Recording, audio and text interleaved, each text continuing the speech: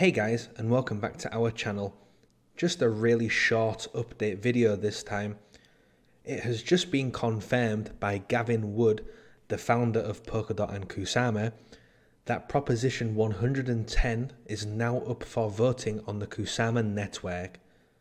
This vote, if passed, and trust me it will be passed, will add the very first parachain to the Kusama network a common good parachain called Statemint.